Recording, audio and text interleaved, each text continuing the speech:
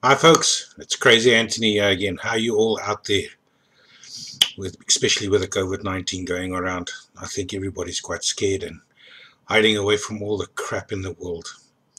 Well folks, I'm out here to actually just discuss a problem that I find with our youth and some even some older guys as well.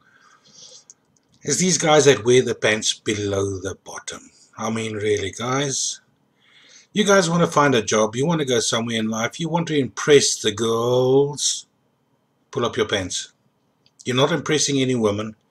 You're not going to get any decent girls out there. You need to pull up your pants, boys. Be a man. Pull it up. If you have a problem with your hands and they're damaged and they cannot pull it up, ask someone to help you, gents. I mean, really. It's disgusting.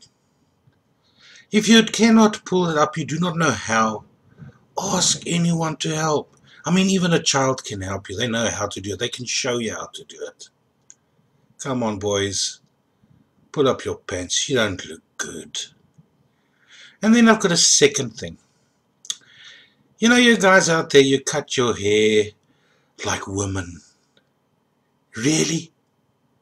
Chaps, you have men parts, not women parts. Especially these ones that cut their hair Miley Cyrus way. Let me repeat that. Miley Cyrus, female. Not male, female. Don't cut your hair looking like her. I'm sorry. It doesn't look good.